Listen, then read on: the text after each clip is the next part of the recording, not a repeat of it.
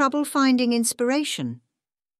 For many authors, the hardest part of writing is the raw invention needed to come up with an intriguing plot, compelling characters, a meaningful theme, and an involving genre. Often this is because authors tend to focus so hard on what their stories need that they aren't even considering what they need to be inspired. Here's a tip.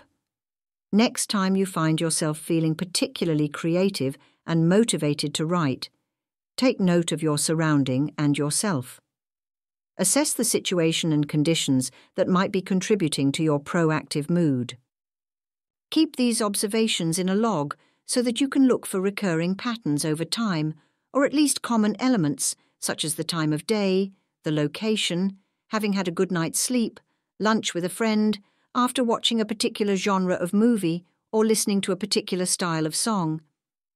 The first benefit is that you can begin to see ahead of time when these elements are expected to be present and to be prepared to take advantage of a visit from your muse.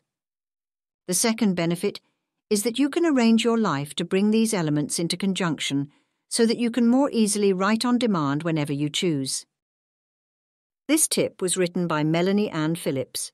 Follow her for free on Patreon at the link in this video's description.